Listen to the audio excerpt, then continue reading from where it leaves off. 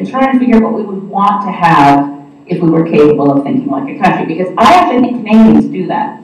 I think we're capable of thinking about what's the best interest of the greatest number of Canadians in most regions of Canada. How do we have a national strategy that looks after the people of Canada and helps our economy and keeps us prosperous while not, you know, killing us later. That, that's basically the kind of equation that I think a lot of people can resonate with that.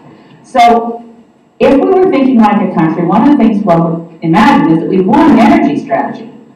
We don't have one. We have no energy policy whatsoever in this country, which aligns with the fact that we don't have a climate policy either. We also don't have a transportation policy. I mean, the numbers of things we don't have policies. You can, you can fill in the blank with almost anything in a sentence that starts like this. Canada is the only country in the G8 without a blank policy. Fill it in cultural policy, you have housing policy. Shut up. You know, we don't have an energy policy, a transportation policy. We don't like policy. When you have policy, what happens is you can't get ad hocery and you can't get corporate rule.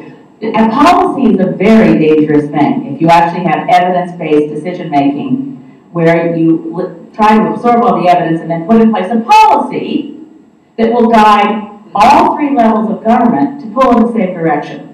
Policy alignment, municipal, provincial, and federal, is the ideal, where everybody agrees on a policy and then moves in that direction. So rather than than rant about policy in the abstract, let's look at energy policy.